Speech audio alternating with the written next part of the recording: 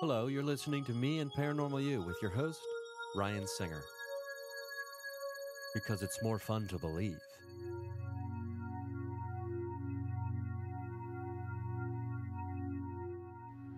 There we go. Is that is that is that rocking? now we're back. Oh, I've yeah. got four different, three different programs recording this Yeah. Right now simultaneously. We were talking about tweeting before tweeting was tweeting. And Yeah, yeah, I how used- it was writing on the back of dirty trucks. Just a, Mm-hmm. you know, a very ominous or mean spirited message to people. I would uh, I would often record myself on an audio device of like just doing a Chinese voice, and then I would just let it go on a balloon. Oh, and people were probably like, "Did yeah. you the comedic genius of this uh, unknown man uh, who is clearly not Chinese?" Yeah, I, obviously. No, I would always I would always put a picture of myself and uh, you know do the audio recording, and then put my address and all you know any, oh, every okay, way to get to make me, sure people understood who was so so funny. Yes, be, then- I'm a bad man. Punish me. Oh yeah, I'd well, send it out. so you were you really envisioned the future and understood like, oh, you know, sooner or later people are going to understand that hmm this is not cool. Yeah, absolutely. I, I didn't like it. I remember watching the first Eddie Murphy album and just shaking my head in disapproval and just be like, I mean, if you go back and listen to that, and I've had this discussion with people before because someone's like, Eddie Murphy's a top five comic of all time. yeah, And I would say, no, he's not sure. because his material doesn't stand the test of time. And does Yeah. anyone's material truly stand the test of time? Well, I would argue that you could go back and listen to Steve Martin, and Steve Martin's material stands up. Um, Cosby's material stands up too. Unfortunately, it, it's it, right. It's like it's it's annoying. Yeah, I mean, it's. I mean, I don't know a comedian in my general age range. I mean, Bill Cosby was the first stand-up comedy I ever listened to yeah, on a record, yeah. and it transported me to a whole nother world and changed the course of my life forever. Really. And so it's like I've had this discussion briefly with other people, but I feel like the one thing that we don't address in stand up in the world of stand up comedy, and I haven't watched uh, W. Kamau Bell's series. Yeah, yeah, yeah. We got to talk about Cosby yeah. uh, on CNN, which apparently was very difficult to even get people to be on Really. to even like honestly talk about Cosby, and that's a whole different community than what I'm a part of. As far Right. as you know, I'm just a white guy, right? Right. Right. so right. it's it's a whole different thing, and the idea that we've had to mourn multiple heroes, Yeah. right?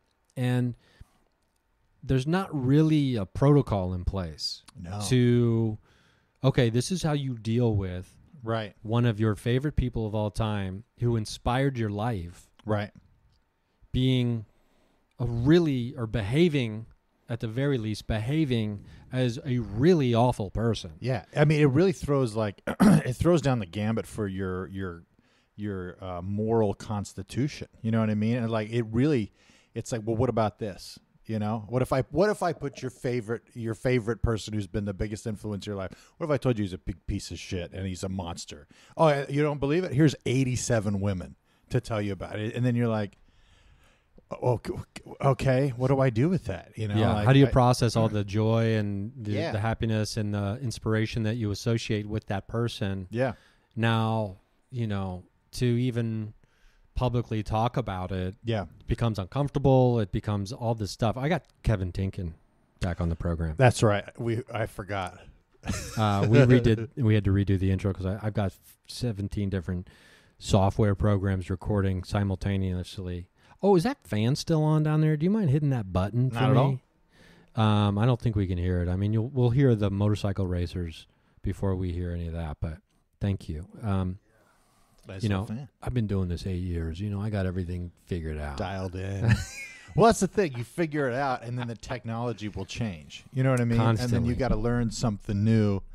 Uh, yeah, I learned. I learned so much Final Cut, and now every time I talk to anybody, they're like, "Are you on Premiere? You on Adobe Premiere?"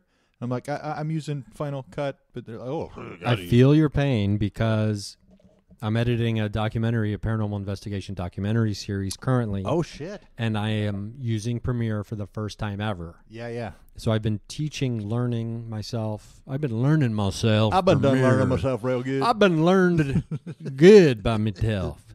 So, um, Have you talked It's- about that documentary on on here yet, or can you? yeah, I have talked about Okay, it. okay, okay. Some might say ad nauseam. Okay, okay. No, because uh, I'm like curious. I'll, I'll have to. I'll have to go. Well, listen. I'll just I'll give you the short the the short uh, tease. Uh, I I did. Basically, I tried to contact aliens in a haunted house, Hell yeah. and it was a haunted school, but a haunted house is just easier for people to wrap their brain around. Yeah. And your boy got fucking talked to. Really? Well, it wasn't just me; it was a bunch of people. But I believe I've established contact with an extraterrestrial intelligence that has continued the conversation. Holy shit. So that's what the series is kind of turning into. By the way, your uh, your hair getting longer and you having the beard fits that sentence so much better than before. you know, Dude, I'm talking to aliens. I believe I've made contact. I went to this haunted school. Now I'm Yeah. talking to aliens all the time. That's amazing. Yeah. So, I, uh, I I might have to convince you to show me some uh, some footage later. oh What- yeah. what- After I've got like I'm I'm close to a rough cut of the first episode. really, Yeah. dude, that is awesome. That is So, so, exciting. It's a companion piece with a stand-up comedy special we filmed in the school, but that is beyond my control as far as release and all that kind of stuff. As the business You of filmed those kinds of things your get stand-up special in the haunted school. After two nights of doing paranormal investigation in that same school, on the third night, oh, I filmed a show. Did you crush with the aliens? Uh, they, the aliens really enjoyed it. Unfortunately, I was the only one who could hear them. Are you serious? Uh, no, I mean, I Dang didn't- it! Because I, you know what it is? Because sometimes, because you've said some things before where I'm like, "That's a good bit, Ryan. This guy's got a mind on him." I'll tell you what, the creativity, and you're like, "No, that actually really happened." I, I have a recording of it if you want it. I'm like, "Holy shit!" Well, uh, Jeff Tate and I were sitting on the couch with uh, Lauren, the woman I'm, I live with, my betrothed. Mm-hmm. Well, we're not, she's not my betrothed, but and uh, at one point Jeff goes, looks at me, and he says, "You say more stoned things than any person who I know who smokes marijuana, yeah, yeah, and yeah. you're not smoking marijuana." yeah, And I was like, "Oh, that's fair. I think that pretty much sums up yeah. how I sound to a lot of people." But But Um, it, that's why it's so interesting, though. Is is like the because you are you are uh, uh, expressing a willingness. I think that's one of the things too. I think that is so attractive about you is you are open. oh, I need to be having you on this program about every other week. Hey, I- the way I- this has started out, I'm telling you, no, you are. You really are. Because that's the thing about some people is like, uh, uh, let's go like the basis, like the most basis uh, level of interaction, where you're like, especially in Hollywood, you know, where it's like you're not even allowed to. Like sometimes you express an opinion that's that maybe is like oh I didn't I didn't really love All in the Family or whatever I'm I'm making up a bad example, and uh, it'll be like oh that's oof like, I, okay Well, I wouldn't really go around telling people that. yeah, exactly, exactly. But This you, mundane thing that has really no consequence whatsoever. yeah, yeah. I I didn't agree with the the selections at the Golden Globes this year. Oh, how dare you? Wow. Yeah. Uh, remind us to remove you from the invite list. Yeah, yeah. But you, you, I feel like if if I had something crazy happen to me, like at, literally at any point, and we're by you, you know, we're I feel like we're good friends, but we're you're definitely not my closest friend. But if something Wait, crazy, wait, wait. What? if something wild happened, and I wanted to talk to someone, I would talk to you first. Oh, okay. because I know that you wouldn't be like you fucking crazy or whatever. You well, know? one hundred percent. Yeah. yeah, And you you would actually have an open mind. To you it. you witness someone shapeshift a couple times, and the next thing you know, Did you I t- know, you realize like, okay, yeah, I'm going to not close off my mind to Yeah. anything at this point. It's it's it's it's. I've told so many people about different stories like that with with you and like because I went down the rabbit hole of your podcast for a while when I first listened to that first episode with the shapeshifter, and then I was like uh, the shapeshifter. I don't, I don't know. You know, I don't be nice. Well, I've never, you know, I don't say her name, so it's fine. Oh, okay, okay, beautiful. Uh, Meredith, uh, or what? I don't know. um, but it was yeah, actually her name. I can't believe I'm going to do this. no. Her name was was actually Martha Washington. Really? No, Let's see. I'm like, oh, uh, it was it was actually the ghost of Martha yeah, Washington. they, I was I was. you were dating you were dating the ghost of Martha Washington. Uh, and she just always kept saying, "You should think about wooden teeth. yeah, yeah. You should just." I don't know. I I, think they're hot. The taste in my mouth after Yeah, yeah, making so- out, the hickory. So you went down the rabbit hole. Yeah, I went down the rabbit hole to kind of check some of this, and I mean some of the stories. So then I'll tell people or whatever. I'll be like, "Hey, if you check this out, if you listen, this he's hey, he's, it's it's real. It's all this is Ryan. Ryan will put it out there, and like a lot of guys will be like, "Oh yeah, I heard about that." Like you know the and uh, but I I just I love it. It's the mo- it's one of the most like that type of shit, especially the way that you put it out because it's probably been what four four or five years since you, Since uh, we did ours, yeah, no, no, no. Since you recorded the the shape shifting one, uh, it's been a, it's probably been a while. yeah, I think it was probably 2016. Yeah, yeah. Uh, but it's like, uh, but you just go into it kind of fearlessly, and I, I just I don't know. I, I I like that when you're kind of like, look, this is what happened. It sounds crazy or whatever, but this is what happened. You know? Yeah, and it's it's one of those things where I think when you have an experience that is so overwhelming, Yeah. You you're not I wasn't given a choice just to never talk about it again, right? So, Yeah. and I mean, starting the podcast was, you know, selfish in a way because I was like I need to find other people to make myself feel less crazy. Yeah. Right? And Yeah. and then you realize that and you talk about this stuff on stage. I never realized people would be like I you know, I I was always trying to make it funny and relatable. Yeah.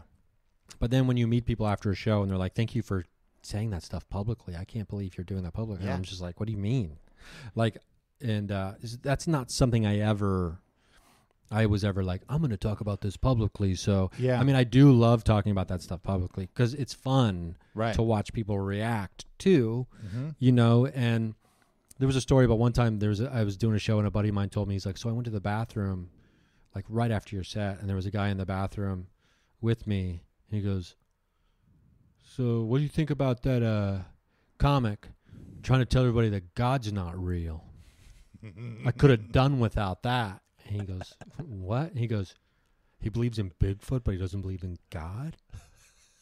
And my buddy's like, Oh, yeah. Yeah. Oh, I remember that bit. So he was like upset Yeah. that I'm yeah, up there yeah. telling people Bigfoot's real and God's not. And that's not even the joke. Right. Right. Right. But, um, well, and that's the thing too is like, especially with when you're when you're uh, uh, divulging something that could be taken as like, oh, he's doing a bit, and then you go with something kind of real. It's like people don't even sometimes you know guys like, wait a second, and that is the that is the um, the curse of the stand up comedian. yeah, because I believe it was in the uh, the one of the Lenny Bruce biography books.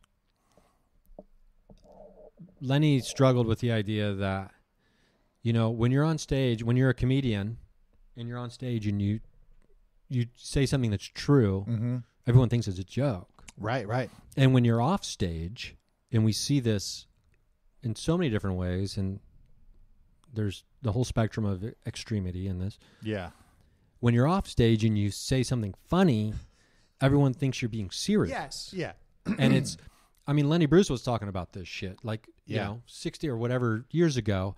And it's, we forget that people, first and foremost, when they find out you do stand up comedy, they view you as a comedian. right, And then when you're being funny in real life, or if you're trying to be maybe around people Yeah, who yeah. don't know you, they don't remember that you're being Right. funny. Because we also forget, and the world has awoken to this, especially in the last five years. yeah, When comedians are around each other hanging out, there is absolutely no limit no. to what we will say to each other yeah, and say to each other's face. right, right? right, right, And so now you put in the intermediary of the internet in there yeah, where comedians just kind of talk. And I'm not saying that it's all acceptable. and it's on permanent record. Yeah, now Yeah. it's on permanent record. Green room talk has gone permanent record, Yeah, right? And there's been some awful things said in the green room before. oh yeah, And and I'm not sitting here saying I condone that. But due to the nature of the business itself and just what comedians do for a living, we don't have filters when we're around one another. Right, right, right, right. Well, I, I, uh, I have often when I host open mics, uh, I'll, I will often say things to make fun of the comics because of that aspect. I'll be like, I'll talk about my wife, who's an amazing person we met at church. She's genuinely one of the kindest people I've ever met. And uh, so I'll go, I'll be like, hey, my wife wants to meet you guys, you know, and I, I, you know, I'll talk about how great she is and how sweet and innocent she is. And uh, so I'll tell her, I'm like, you can come meet these other comics, but at some point, as a joke, they will come up to you and tell you that they want to fuck our kids. And uh, and and look, look, when they do that, don't be a real stick in the mud. all right, try to be cool. You know, I'm trying to get booked out here. I can't have the offended wife. Yeah. Well, yeah. So just roll with it. Yeah, yeah. Be be cool.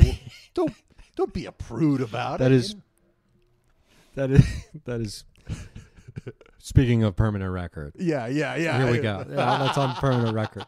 Well, Um, that's what it is. Because I've always like, I've always been around comics. Because I come, I go to, I went to church forever, and so everything was like very, you know, uh, you know how to be appropriate. Everybody kind of understands or whatever. And then I move out here, and it's a different religion, but it's you know, it's like a, it's it's it's a version of it. But some of these guys, man, like my be- closest friends out here would say some of the most fucked up shit just to be funny or whatever, or try to make the circle laugh or whatever. Yeah, And which I'm- is uh, you know I think at at a certain point, you know, the rule of comedy is if it's funny, it's funny. Yes. Like if it's funny, it's okay. right, right, right. But if you go too far Yes. and it's not funny, it's you're an asshole. yes, Right? and time. it's so if you're going to swing big, yeah, uh, maybe have a little bit of understanding of who you are and who you're swinging around Right, too, right, which right. there needs to be some accountability yeah, in the world and in the world of comedy even. Um, but yeah, it's like when you swing big uh huh. and you miss, now you're like, okay, maybe you need to scoot away from Right. the circle for Fro- a while. From the side of the stage, that's my favorite thing to watch. it's my favorite thing to watch. I don't know if you're like if you're sick like that. Every comic loves watching the strug. It's so when you just see somebody go hard and it doesn't work, and especially if you love the guy who's doing it you know, or gal, uh, and like, oh man, like it just, it just, it kills me. It'll just because I'll, I've seen you know like our buddy Bruce, you know, there's been some moments, and uh, just to watch that shit happen just kills me. Yeah, and and it's like there's a difference though between, and I think the last few years has really like exacerbated this problem. There's a difference between being shocking and funny, Yes, and then just trying to be shocking, yes, and there's no joke there. right. And that's when, to me, I'm like, are we doing comedy still or what? Mm-hmm. Like, is this is this comedy? Are you trying to make people laugh? Are you just Right. trying to shock people with no joke at all? That's the thing. Well, a lot of times people say a joke, a joke, quote unquote, you know, and it'll bomb, and they'll assume that oh, the audience they're prudes. It's like, yeah, maybe, but you also didn't do any work there. You didn't. There was no setup or punchline. You just mentioned necrophilia, and now you think people are supposed to bust out and like, oh, so I guess you guys are too cool for that. Too cool for fucking dead people jokes. Yeah, yeah. It's oh, like oh, I get it. Oh, is a church group in here? Yeah, it's like yeah. you know, I mean, it's like try to actually be humorous. yeah. you know? Try to understand the visual image you're painting in people's minds. Yeah. That they didn't necessarily ask for, which Right. is, you know, all comedy is. It's like you're painting these pictures in people's minds and then they laugh because they envision it. Yeah, right? yeah. And and it's like, do you want someone coming in and leaving your show and being like, I feel like I just binged the TV show Mind Hunter. Right, right, Right? It's like I, I, I, I hate I hated that I watched that show Yeah. uh, and binged it essentially because the imagery wouldn't leave my fucking It's mind really dark. For, a while, and it's like I can't binge or really watch a lot of that kind of content because it Yeah. the way my brain and imagination works, it just it just ugh, it festers. yeah, in yeah. So let's That's talk about let's talk about rabbit holes a little bit. Please. And so you're talking about going down a rabbit hole after you know we first chatted. Yeah. I'm curious, not about the pod, my podcast. I'm curious about of all these different rabbit holes that you went down. Yeah. And admittedly, there's a ton of them on here, and I get, sometimes I get really fired up about a certain rabbit hole for like a month and a half, and I'm Mhm. just all in it. And I think I got alchemy figured out. You know? I got to go to France. Yeah. And so, uh, but what rabbit hole resonated with you the most as far as like topic and Yeah, like, yeah. content?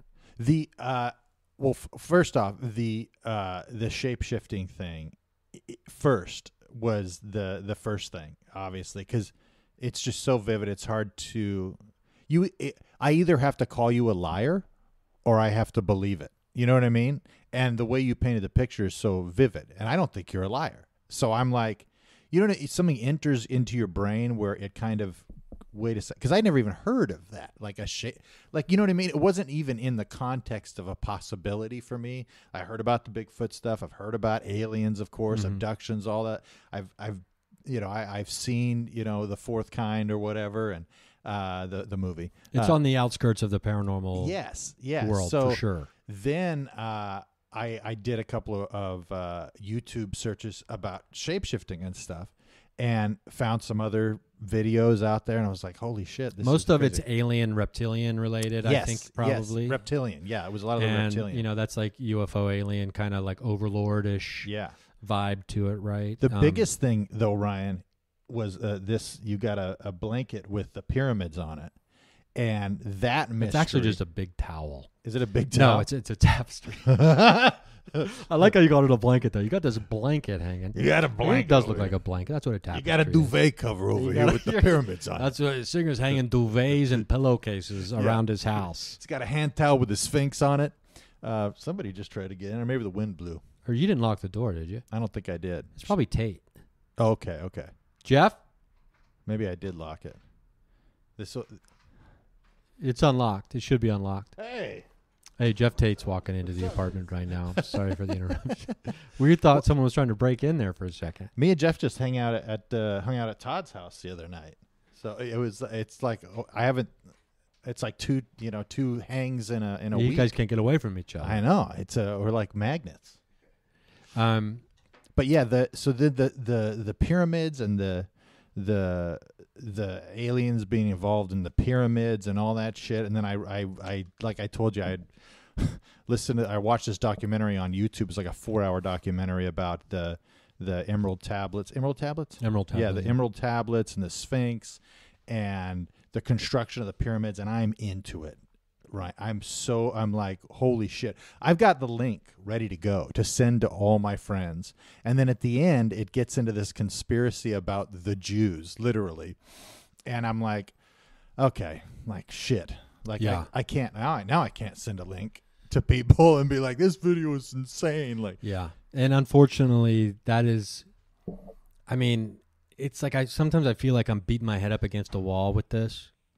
And people listen to this show, they're probably, I don't know if they're tired of it or not, but like it is astounding how many deep into the conspiracy Yeah. game people there are who have never heard of the protocols of the learned elders of Zion yeah. which is anti-Semitic propaganda, which is the foundation of so much of the New World Order. That's and- that book that you you Yeah, I've got it printed out here, That's that signed and copy. it's and that- it's that gross signed- to read. Yeah, yeah. It's not enjoyable to read because you're reading, you're just like God. But Yeah. then there are people who believe it to be a real thing, Right. And it's been proven, even in the 19th century, after it first kind of surfaced, it's been proven to all be bullshit Yeah, yeah. and it was debunked in like local publication saying this is not real and this is why Complete right? lies. Yeah. and it found its way through henry ford spreading it around you know it's like That's the insane. f-150 i always the joke is it's not built ford tough built nazi tough you know it's like or those panzer tanks were built ford tough Yeah. um anyway so it is it's aggravating and it's frustrating that so much of this becomes just this anti-semitic bullshit Yeah. and you know george soros george soros Yeah. it's like yeah george soros is rich beyond all of our wildest imaginations i'm sure he has a lot of influence in the world Yeah. right he's Um, is he hiring fake protesters to get violent at certain things so that the you know the liberals can then say the conservatives Right, are right. getting violent at uh, Black Lives Matter marches, things like that. Um, you know, it's because you know he's part of this. You know, he's part of you know this Jewish New World Order. You know what I mean? Running all them and the him and the Rothschilds. And Yeah, all this- yeah. And the Rothschilds, whatever. I'm not saying the Rothschilds are right. good people, Sure, sure. but um, Well, that's the thing about all any uh, anything that's on the periphery of mainstream culture, like conspiracies. You know, is the misinformation. And I think because I've I've I've looked at some of the things about the propaganda and the techniques that you use and put out all the information, but put it in a cereal bowl of bullshit. You know what I mean? And I think that's what happens a lot. You know, so you you'll get some of this information, but we are so just absolutely soaked with bad information. And so then you have to filter that shit out. like they the fact checkers in the last presidential debate could not even keep up Oh yeah, there's no way. because uh, the way the technique that Trump uses when he talks. Yeah. He's like, I'm giving you so much bullshit with a little bit here and there that is actually maybe true. Yeah. So fast, and I'm contradicting myself by the end of a really long run on sentence multiple times. It's impossible to keep up with, Yeah. which seems crazy Right. to think that people resonated with that and were Yeah. like, but he hit those reptilian part of the brain function buttons. Yep. You know, he, he Mhm. got to their like scarcity, Yeah. uh, safety, and all that shit, Yeah. right? And Everything's so- bad and I'm on your side. Yeah. Yeah. And so and I'm the best. it is it is you know my biggest it's it's my biggest frustration with the world of the paranormal because conspiracy theories have invaded the world so deeply in the Yeah. last few years that you watch any documentary it's almost like you're waiting for them to say and then the new world order Yeah, or yeah. then the jewish Mhm. uh patriarch rothschild or, or it's just like fuck man can Yeah. we you know there because at one point it's like not everything i do see this is where it gets complicated for me because i do believe everything is connected right yeah, yeah. and i believe the connective tissue of all this is consciousness now to sit here and be like all this stuff's connected is very contradictory to what i'm saying but sometimes when you see an alien you see an alien right Right. and it's but now what you have is you, we live in a world where people are saying no those are man-made grays Yeah. made by the you know the elite Right. Who are trying to scare up an alien invasion of, that's not real Mm-hmm. and then real aliens are going to invade yes. and but we'll all be united already under the new world order because Right. we have to protect the earth from aliens so it's it's it's difficult to believe anything especially because there's so many different sources now Yeah. I, I watched a documentary on that too. Uh, um, documentaries are the are the best and worst for a curious mind. Uh, but the it was the the bald guy who was uh, I believe dr steven greer Yeah, yeah, yeah. Uh, it was his. Uh, he had two of them, and i think he's put out three or four now has he? What do you think about that guy? I mean, is that? I mean i mean i love love is a strong word yeah. i'm team greer Okay, okay. So because that's how I when I'm watching it, I'm I, I don't know if I'm just gullible or it's it's a good quality to have if I'm your friend because I do I just believe a lot of the time, you know. And uh, I mean, it's not a great quality if I'm trying to get somebody to do cheap uh, body work on my car uh, from a stranger, a homeless guy that I met, who's and then Yeah. runs off with my 200 bucks, which happened to me. Uh, but um, but yeah, he's uh, that that stuff about the the uh, the uh, the reproduced the UAVs or whatever the or uaps UAPs, yeah, yeah, and uh, the the war, you know, the fake war and all that shit. Like that's, I mean, that's that's nuts. But uh, there's also a big part of me that's like, well, we'll see. I mean, I'll I'll probably live long enough to be able to see that. You know, I got to start working out, but you know, yeah yeah you got you got to you got to bulk up for the big alien I war do. I got to get I got to get yoked out of my mind. you know because it is it's troubling when you now i have to be careful what i say here Okay. there are private conversations i've had with a friend of mine who's in contact with extraterrestrial. Yeah, I'm not trying to go all David Wilcock and uh, or you know Corey Well- Goode here, which is, you know, like I'm. There's one guy who, who talks to the blue avians and people who hate that say, oh, the blue chicken cult people. Like, far- he's the only one who gets information about the super secret space program, which is different than the secret space program. Yeah. which is different than the space program, right? So, I'm not. This is not like that. Yeah. But I've had conversations with a friend of mine, and he mentioned a few different things that uh, that were part of a message receiving from extraterrestrials, Yeah. and I have a hard time. Uh, I mean, I have a skeptical part of my brain, just like anybody else. Right. Right. I have a hard time when I really push back when apocalyptic and or religious and especially religiously apocalyptic themes Oh yeah. come into play regarding anything. I've been down that road and Yeah. it was miserable for me. So when someone who I trust and believe their experiences starts telling me things like that, Right. I push back. Well, because that's either gonna you have to. But then when I talk to someone else and then who they don't know each other presents the same information in a compelling and quite frankly shocking way. Yeah. I have to go back and revisit and be like, "Oh, I'm so biased against this stuff." Right. Right. Right. that I and I, I'm trying to remember the word right now when like you refuse to believe of impending doom is coming to you. It's like this mental thing you do. Uh, Denial. it's not denial. There's like a anyway. I'll I'll think of it later maybe. But so when I see this information and it's so specifically the same yeah. From people that haven't talked to each other. from people who haven't talked to each other, Yeah. then I start to be like, oh fuck, man.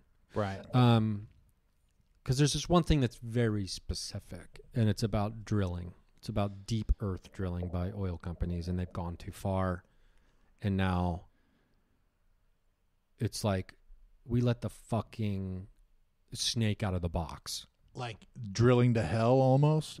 Well, essentially, but Yeah. not with like demons have been released and Right. elementals, and here come the sylphs. Yeah. But, uh, yeah. i- it's you know just fucking up the earth Yeah. Yeah. as yeah. far as us being able to live on it. Right. and we've gone that far already Yeah. as far as this drilling goes. And there's there's a guy Chad Calek who's made um, three documentary films, part of a series, the Sir No Face series, Sir No Face, Two Face the Gray, and then Phantom Rider. Watch them in that order if you're going to watch them. Say it again. Sir No Face, Uh huh. and I'm telling you, it's worth watching because Okay. you will never see more compelling footage of a ghost or Really? something unexplainable caught on camera during a paranormal investigation. Um, I mean, maybe you will, but I mean, this is like it's it's indisputable Yeah, yeah. practically, and so, and then it just starts leading to this crazy other thing happening in the next two films, and so part of that film, specifically the last one, brings up the, that specific drilling information, which a friend of mine has mentioned Yeah. months and months and months ago to me. And so now I'm just like, fuck. Yeah. right? Yeah. Like, what do I do with this information? It's not that I didn't believe my friend. Right. Right. It's just that I'm okay. I'm not going down this like religious apocalypse right. Right. Right. Right. and about you know the world ending and everything's hitting the fan Yeah. and it's not that far away, right? Right. Right. And that is, I don't want to say it's ultimately where every paranormal investigation goes, because it's certainly not. But when you start to get the government involved and Yeah. secret government operations and and things like that, typically it starts funneling into, okay, the apocalypse or End of the world. great alien war. Yeah. And I don't know. Calek lays it out to where Earth, uh, the leaders of Earth, don't want to be a part of an intergalactic alliance. We want to be a standalone planet, Yeah. and it all stems from the rich who control the planet wanting to keep Earth the way it is, keeping us down, Yeah. so they can maintain their power over us and be wealthy, right?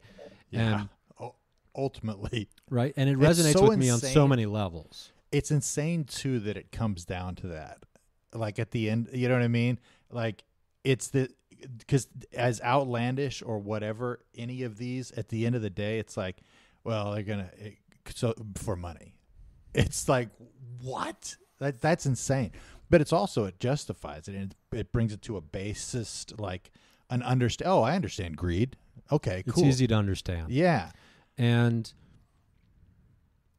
where the problems come in for me is the key to escaping this very unfortunate future. The power lies within each individual yeah, um, in the form of consciousness and tapping into consciousness and figuring out how to get into that and then elevate ourselves, right?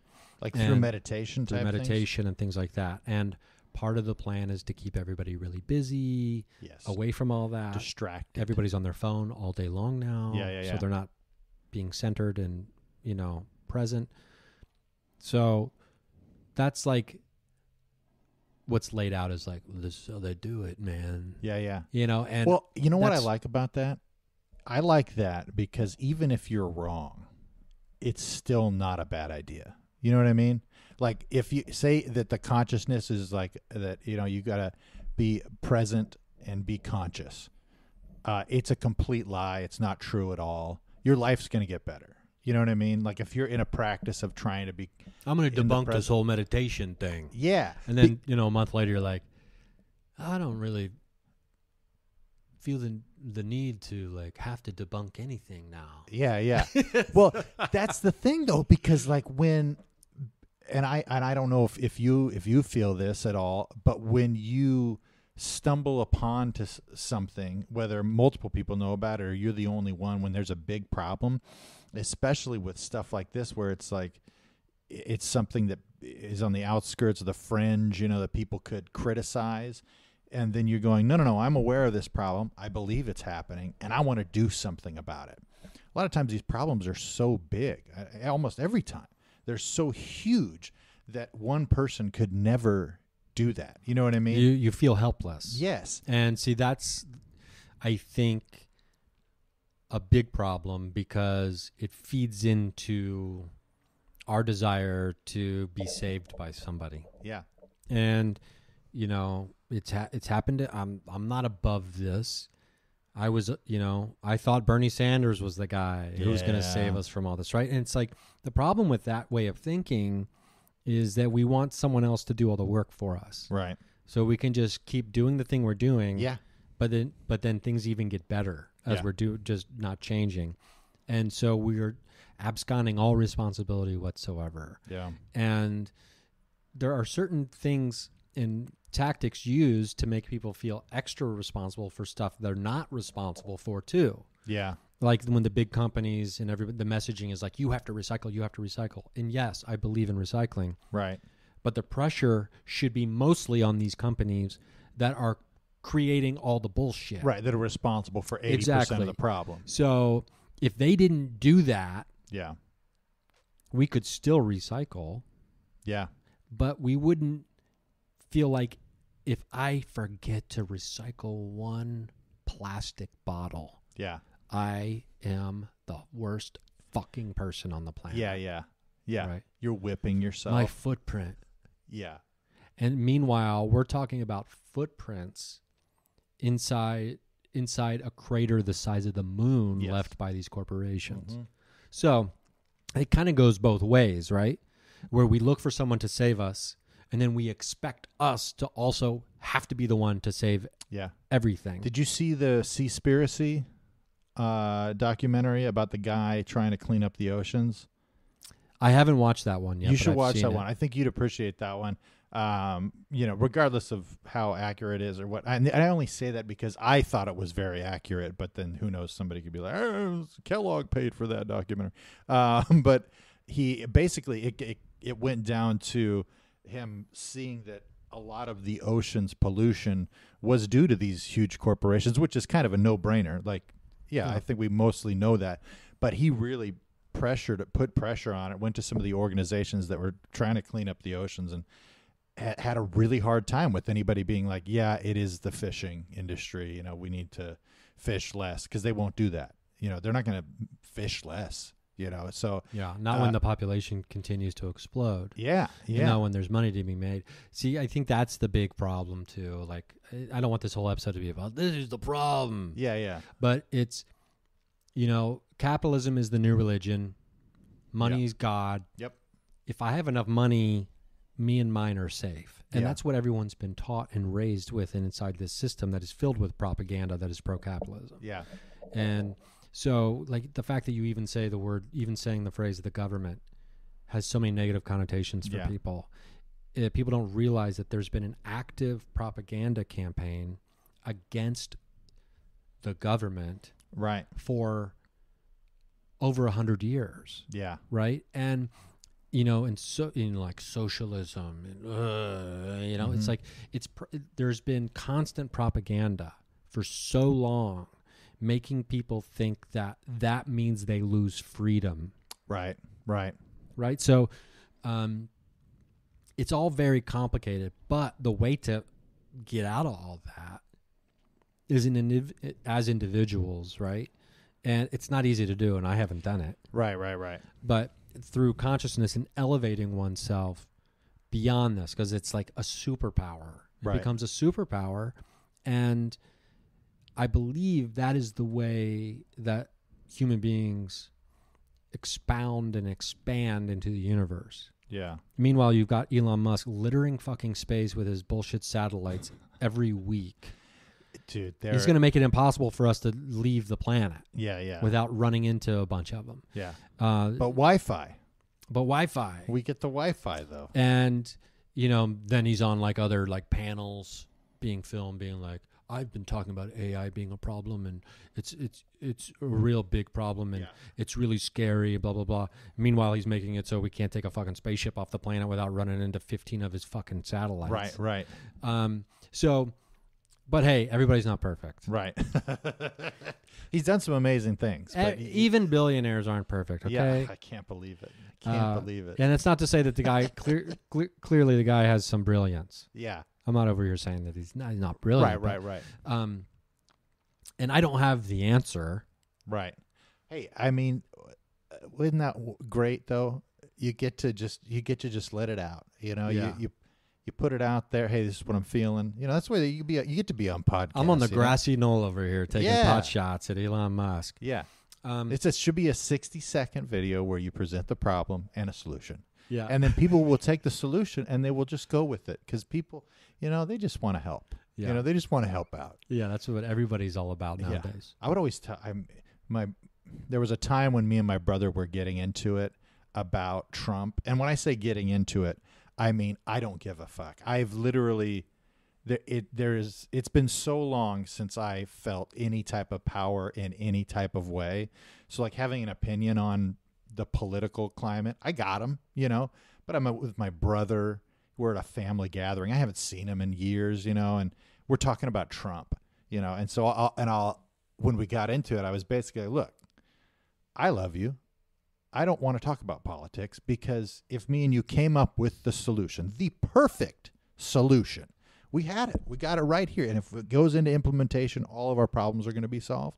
We can't get this done. This is not going to get done. Even if we figure it out no one's going to listen to us. So could i just hug you?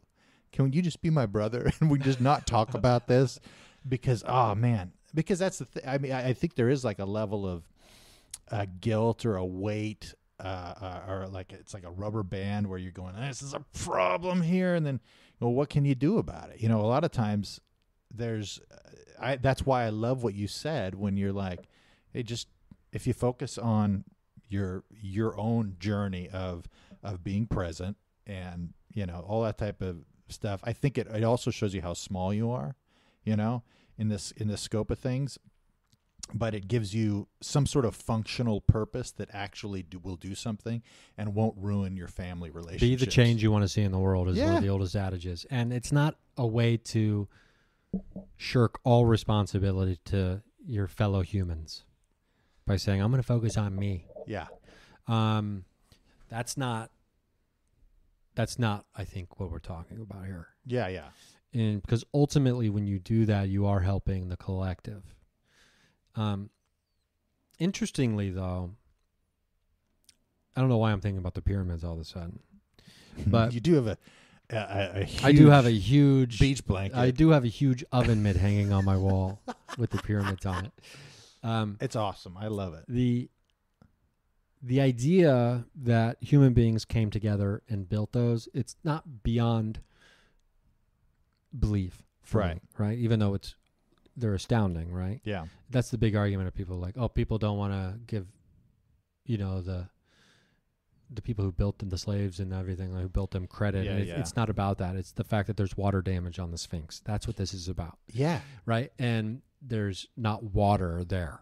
No water there. so that's what this is about. It's not about that. How big the stones are, where they were Yeah. taken from.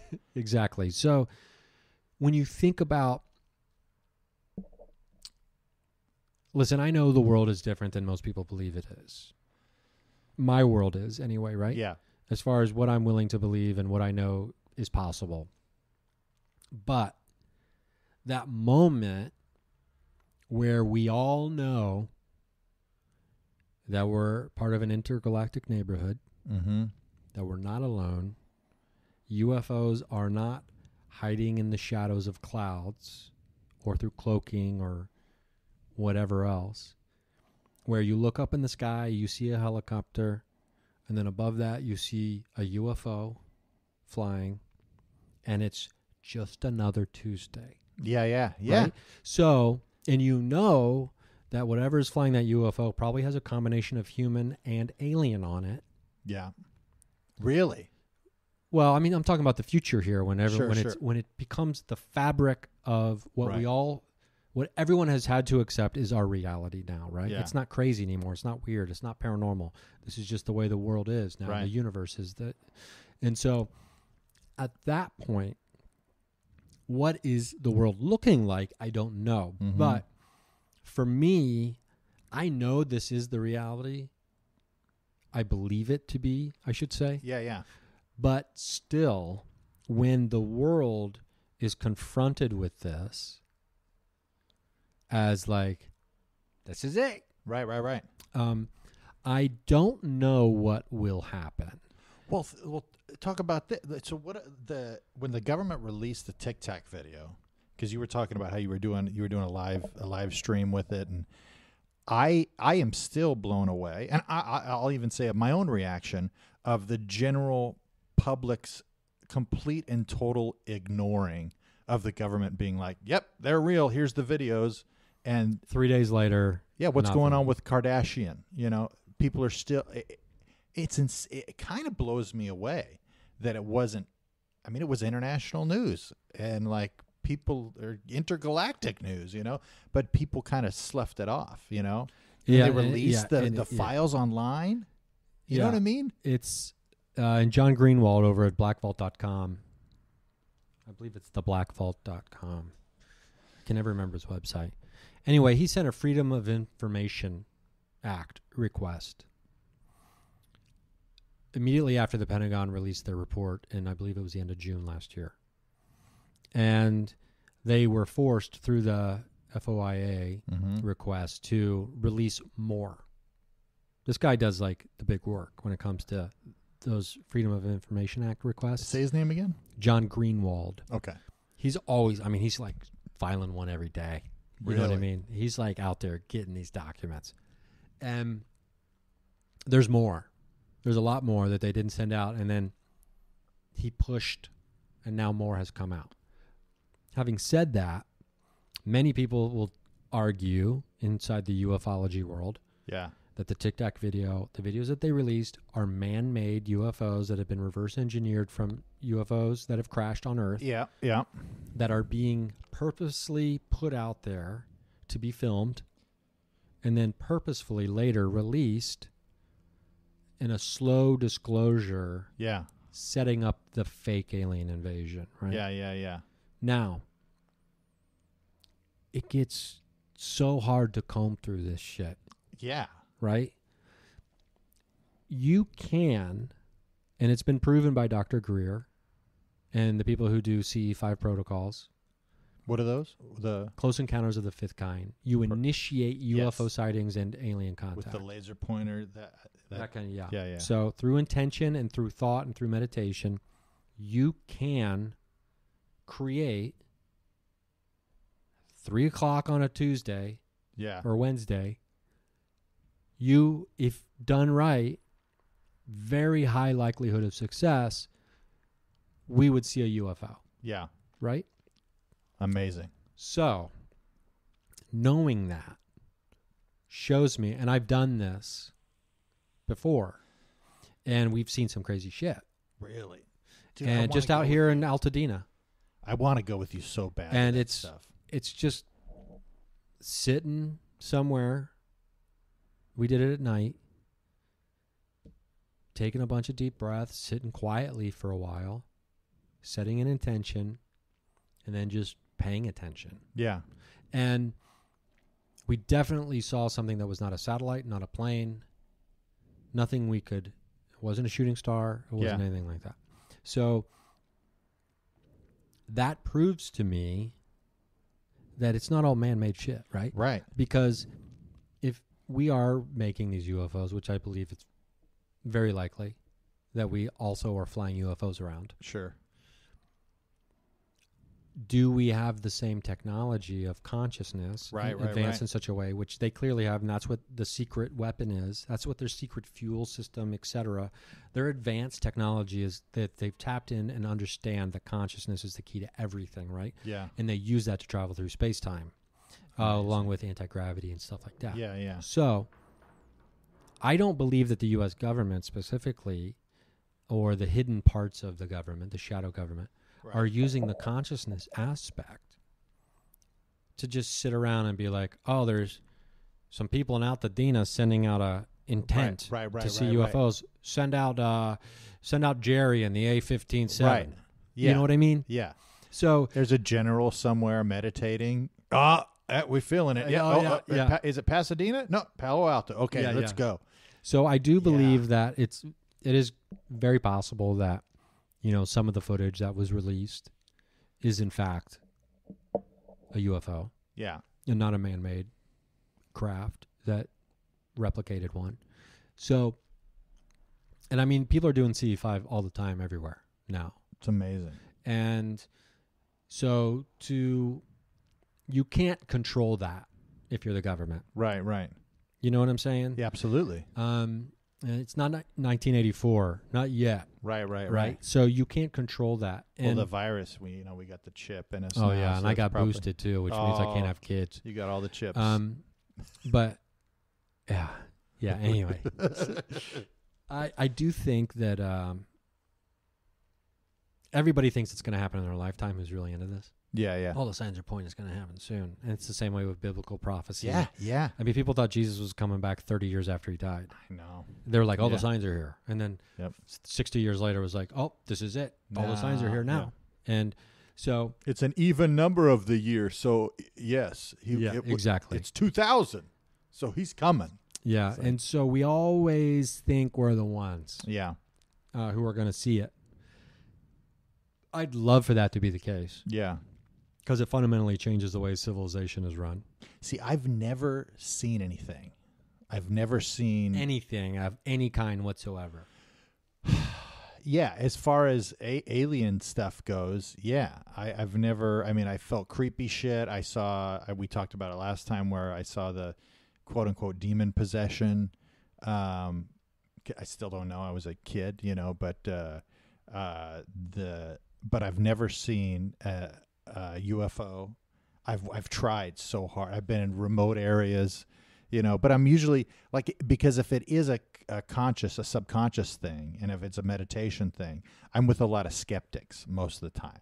So like, um, I, I mean, I don't know if that has something to do, but I literally have there been so many times where because when I watched that uh, that uh, I keep wanting to say Pam Grier, uh, Dr. Greer. Dr. Greer. Yeah, when I saw that Dr. Greer thing, I literally did that. And I have two green laser pointers, and I, I was like sitting in my apartment, and I just could. I'm just not. I wasn't. I'm not good at meditation. I got to get better. I have to practice. Um, It's easier when you're not good at it. It's easier when you have someone guiding you. Yeah, yeah, yeah, yeah. I need. I, I, that's why I'm like, I gotta piggyback on. I get, I'm gonna suck off one of these. Not suck on, but I, I wanna. I wanna leech off of one of these uh, uh, Ryan experiences. Well, we'll have to do that sometime. I would love And to. because I mean, it's fun to do too. Yeah. Or just have an excuse to go hang out. Yeah, and I'm listen. I'm no pro at it, Yeah, but I did see five my variation a variation of that stuff. that's amazing. I did that stuff in the haunted school because Ah. my goal through this whole project is to show that consciousness is the connector between ghosts, aliens, Bigfoot, all this stuff, Yeah, and you know, trying to widen the net, so to speak, in most people's minds because there's Right. a lot of people who already believe that and have been talking about that for a while, but it's not my thing. I originated right. but doing alien trying to contact aliens inside of a haunted building Yeah, and then see what happens yeah, um, you can get results from that that type of technique in all paranormal phenomena i believe that's Right. amazing. so It makes sense though. to me it makes sense yeah as well Yeah. and it would be great though if it didn't make any sense at all but i'm like i gotta keep trying it well, the fact that you had it, I mean, that's the that's the thing about all this stuff is is it's it's it's para para science, parapsychology, para, you know, and belief is a component of that it is. and belief increases your probability for results the thing, but I I mean, I have my I have my BS in psychology, which is any BS is just the study of the scientific method, and if it's replicatable results, and you're controlling all the you know uh, outliers and extraneous variables that's all you're looking for is a repeatable result you know? So it goes from the para psychological psychological or whatever to no this is actually there's testing you go through a set of trials and if it's repeatable then you have something right so that's why i've always because like i said you know I'm, I'm very gullible for lack of a better word but I haven't seen it. I keep wanting to see it.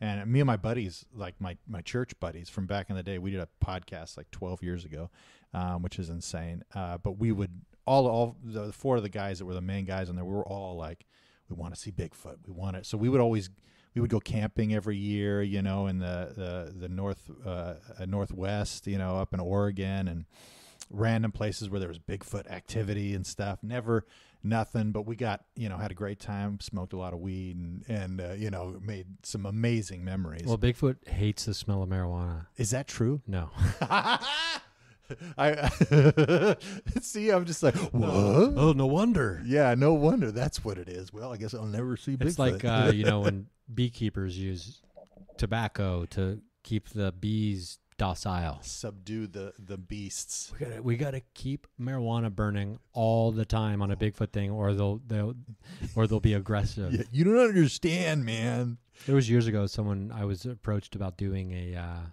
a ghost hunting show, and inv- like, but the premise of the show was that everyone had to be s- completely baked the whole time, stoned, and I was just like, I was like, as much as I want to be on TV more, yeah I don't smoke marijuana, yeah yeah and I'm not gonna have just panic attacks every episode. right right Uh, but uh, it was. I don't know if it ever went to air. I, I don't remember ever seeing that show ever. it sounds go- like a go doug uh, um well, it was actually a well-known. There was actually a well-known comedian who was Oh, in charge really? of it. I, I probably shouldn't be, yeah it sounds like a the rogan name. thing or a, a but uh, it was. Uh, but I was like, oh, that's an interesting thing because you know I do believe that whether you've been drinking or on drugs, that in no way disqualifies an experience that you have Yeah. that is strange. Um, even though it's the big thing, I wasn't high, I wasn't drunk, blah blah blah. Right. And, you know, everyone, it's like, well, okay, well, ma- okay, now you're a little more credible. And it's like, Right. Well, no, when you're letting your guard down, Right. right, and we're getting rid of some of the ego barriers of like, this is what reality is, and blah blah blah blah blah. I'm sober, and this Yeah. is my fucking world. Um, I think we do open ourselves up to it a little more potentially. and Yeah. that's why I don't think smoking marijuana and hanging out with your buddies, having beers, camping out. Yeah. I don't think that should necessarily exclude uh, activity from happening Right. around you. It's such a fun, funny way to discredit something too, because it's like if you've ever smoked weed, you know that's not how it works. You don't just see things. You know Yeah. what I mean? Like that. That always cracks me up too. Like when you see, I don't know, somebody does something crazy. I mean, you like, see more possibilities, yes, you're open. connections, Yeah, yeah, but you're not hallucinating. yeah, exactly, exactly. You're not going to just make. Oh, yeah, we all hallucinated the same thing. Like, come on, knock it off. Like, yeah. Uh, it's like talking to my mom about smoking weed or something. Like, all right, I'll probably jump off a cliff. It's like, So if you were to let's wrap it up with this. yeah, If you were to guess level of or flavor of or characterize mm-hmm. what you imagine your reaction would look, feel, sound like yeah, when you have this first interaction and not just like a distant light flying in the sky, right? right, Which can be really fun and amazing. But something a little more close yeah, yeah, yeah, and real, whether it's a ghost, a Bigfoot type creature, Yeah. or an possibly even an alien being, yeah. or a craft that lands somewhat close, or it's following your car at night. Yeah, yeah. What do you think Kevin would be doing in that moment? I know exactly what I, I know. Eh, so it's because I've met. I I think it would be almost exactly like meeting a famous person that you really admire, where you're freaking out. You're genuinely like, "Holy fucking shit! I'm talking to this person that I, I'm, you know." It's a lot, you especially meet somebody that's like super, super famous or whatever, and you're like, "Holy shit!" But you have to act like you've been there. You know what I mean? And I think that's exactly what I would do because I've I've been in situations where I start getting scared. You know, where I'm because I have I'll go up to the I, I live up in Sunland, so I'm right by the mountains. So I go up to the mountains all the time just to clear my head and convince myself to continue living. And and uh, and I will in those situations I have tried to do the meditation and like some and I get scared. I get scared. I'm like, what if it actually happened? I try to really instill the context in myself, and it's always just try to be cool, you know, act like it's not a big deal. Try to be friendly and open, you know. Visualize it. Yeah, yeah. It's like, uh, I mean, I've I've been stung by bees and not freaked out. I'm like, I can do this, you know. If uh, so, I think I think that's probably what I would be doing. I'd be my heart would be be beating incredibly fast. I'd probably be sweating a little bit, but I would be very conscious about trying to be calm and be perceived as calm. You know what I mean? Mhm. But uh, I don't know. We'll have to. You'll have to experience that with yeah, me. we'll, have, to, see. Well, uh, it's interesting because the night we were in like the Altadena area, up in the hills, mountain area, at a park, we were all sitting in a circle, and after a while, seeing stuff and like you know everybody seeing it, and then after a while, a couple people in the group were like, because we were kind of enclosed by brush and tree Mm. and there was this little mini little tiny little clearing and a couple people were like anybody else hearing like the animals or whatever they are Mhm. like circling us right now disturbing the brush. like they're like pinning us in it almost feels like and so that's when we're like okay yeah maybe we'll get the fuck out of here now yeah, yeah, yeah. because there it seemed like all the creatures were just kind of closing in in that Yeah. small circle around us just beyond our sight Do you guys have a fire going? no No fire. No it was no it was you know i'm not going to be starting a fire at night out in a la park Okay, okay. I, yeah, it was uh, okay. In a park, but um yeah it was a park it was an actual park yeah, so where you can go like hiking and stuff. But we went at night, um, which you're allowed to do at this particular park. I see. I would be the guy if you were to be like, "Hey, I feel like something is," and this is. I don't know what this says about me, but I would be like, "No, let's wait. Let's see what happens." Well, yeah, I mean, but and that's when I get uh, murdered. yeah, well, when someone tells you something that is making them really uneasy yeah, or scared, I don't think that you would you're probably right. react in that way necessarily because you you're not totally lacking empathy. Yes, no, So, uh, that's you- true. because you can tell when someone's like, "Hey, maybe we shouldn't be here." There's a big difference between that and, you know what? I think we need to get the hell out of here because yeah. this is making me fucking un- un- this is unnerving me. Yeah, yeah, yeah, And you can see that they're like, "Oh, yeah, we need to go." yeah. I would probably step into Z- dad zone at that moment. Yeah, for sure.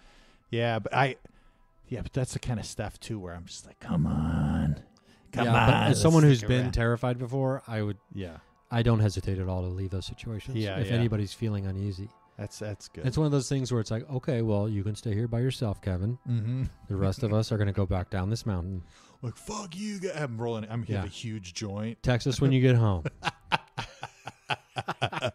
I'm gonna make some new friends tonight. Yeah. Fine, take off. Dude, an alien put me on their Instagram story. I was real nervous at first, but I I, I I made them think I was calm and cool. I, was, I fooled them. Yeah, I I fooled fooled them. On the inside, I was, oh my god, I can't believe it's you. well, let's uh, uh, tell people like, because you're helping out Eddie Pepitone on Yes. the uh, Apocalypse Soon podcast. So Uh, fun. Eddie is great. You're great. So Apocalypse Soon is the podcast. Yes, check out Apocalypse soon. Eddie is a, a, a just an absolute brilliant man. He's an and he's he's he's just so kind. He's a great person. He's such a sweetheart. He's a sweet guy and he's hilarious. I keep waiting for him to do something to ruin the relationship. And and to have to be professional and be like, God, I wish I could stop doing but he's just been amazing, man. And uh and I get to be on camera with him, which is uh, an absolute uh, dream just cuz he's amazing. Eddie's uh, the the best. And then uh, I do a podcast with uh, our friend Bruce Gray called Bag Fries, which is just me and him. And uh, you can watch us just uh, have conversations and be idiots and Over a bag of fries. over a bag of fries. Yeah. Well, I don't even know. Oh, it was because we wanted to. It was like Bruce's Def Comedy Jam name, like Bruce Bag Fries Gray. And then every time he tells a joke, he goes, "It's the the fries at the bottom of the bag." Yeah. And we were just trying to think of a name, that, that I would just that bit had come up. That I'm fits Bruce. I'm like, let's just do it. Let's call Bag it bag fries. fries. Yeah. So it's been fun. We're uh, pulling a lot of audience from the podcast I did previously with uh, Ben and Jace Avery, and uh, yeah, it's it's good. Cool. Well, Kevin, this has been fun. It's been great. I always love hanging out. Thanks for coming by. I'm going to do, a real quick outro so I don't have to re-record more. Yeah, go for it. RyanSingerComedy.com. Tour dates for the summer and later in the year are popping up. CrystalEyes app. Download that app, please. Send me a screenshot of the five star review. You'll be entered in for a giveaway for some uh, free sustainable swag, maybe some jars, maybe stickers, things like that. Uh, Instagram, you know, I'm out there. TikTok, I'm on there now. Ryan Singer Comedy. Trip Cool Train. Gonna read you some poetry tonight. Trips out there. Dr. Darren Cornwall. Portals. What are they? He's out there talking about portals. Um, so we appreciate it. So uh, Darren, Trip, and I appreciate it. Much obliged to the follow. Um, so yeah, thanks for listening. Uh, I hope you're doing well. We love you here over at the Mindcast. We hope you love yourself. And if we don't see you somewhere out at a show sometime soon, we'll see you at the watering hole on the astral plane. Ain't that right?